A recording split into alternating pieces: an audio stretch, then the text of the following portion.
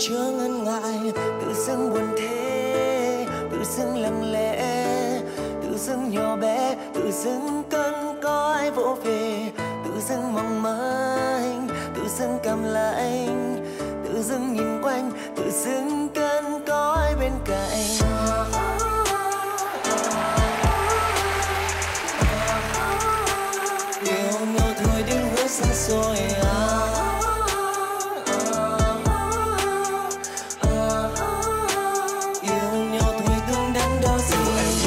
quen thi vị yêu em vì anh chỉ muốn cho đi.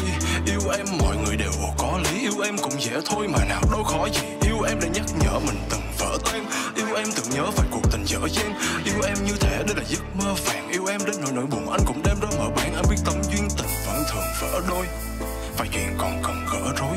Vài điều chân thành không may lỡ thời. Nên việc gặp em chắc chỉ là mơ thôi. Vì anh tầm tã trong cơn mưa ký ức. Sợ lại đâu vào đấy và một ngày sẽ phai phôi. Cho niềm đau là điều yêu quý nhất. Nên cơ hội có tới vẫn băn khoăn không nỡ nổi.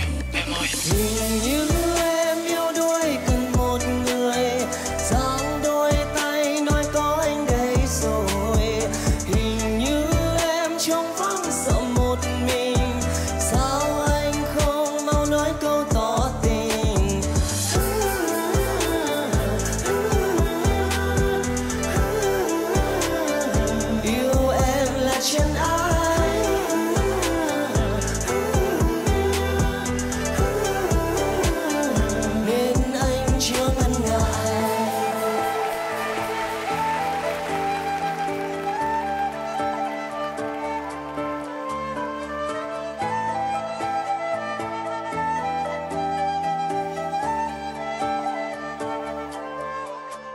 Này, em anh có vài chuyện tình buồn Đời mà đâu được như điều mình muốn. Là duyên là nợ, đâu phải không hiểu là mình buông. Nhưng người ta nói mấy ai khi yêu mà bình thường. Em nghĩ anh nghĩ thôi thì yêu đi.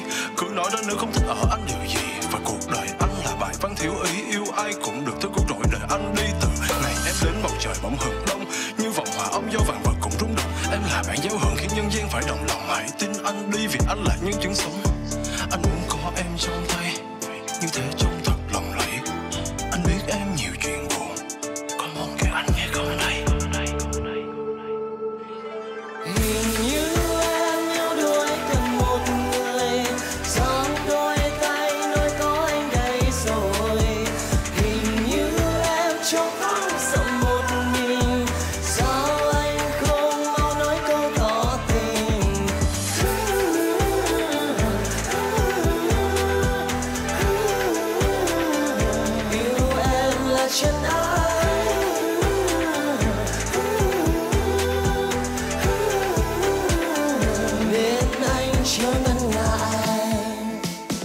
Này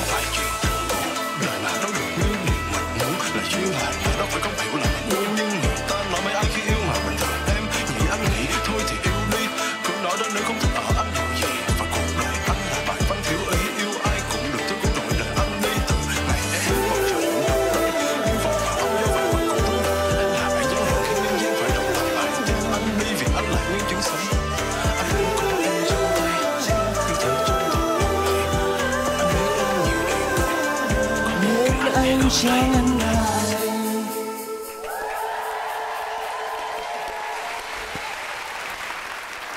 Wow, quá tuyệt vời và đó là Linh Ly.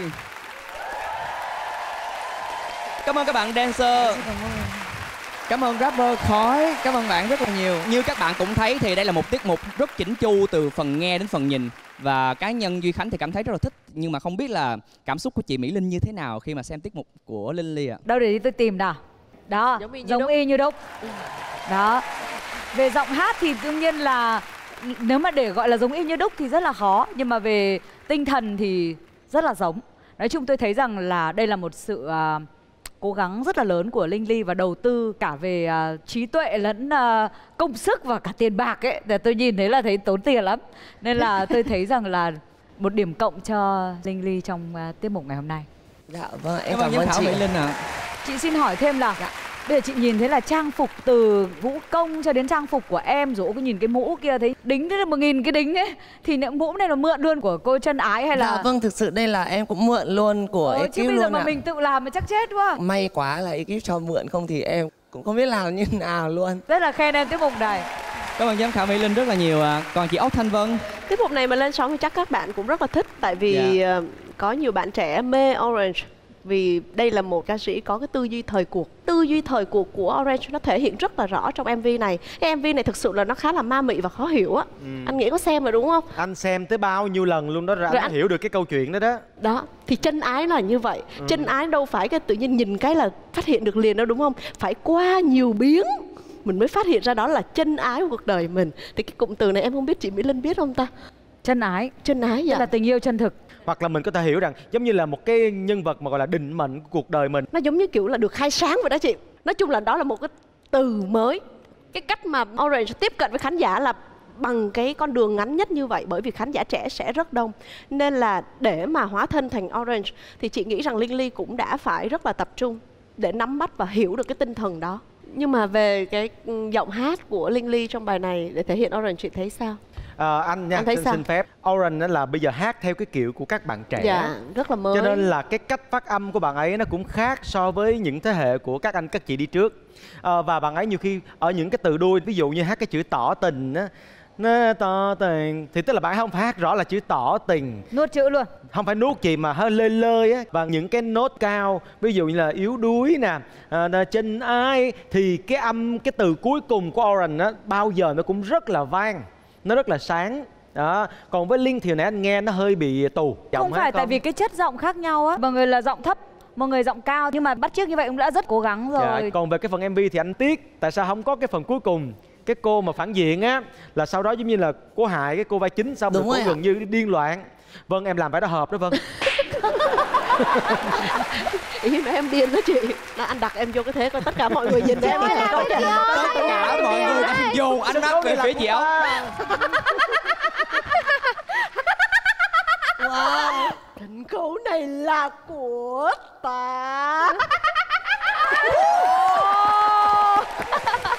Vừa lòng anh chưa vậy đó chị làm còn hay hơn cái cô trong MV nữa đó phải chi Linh mà mời chị ốc vô làm khúc cuối đó cho em nó xảy Tiếc quá em mà biết trước thì em đã mời chị ốc luôn rồi. Cảm ơn Linh rất là nhiều nha. Dạ cảm ơn ba vị ban giám khảo ạ. Vâng và một lần nữa cảm ơn linh ly khi hóa thân thành orange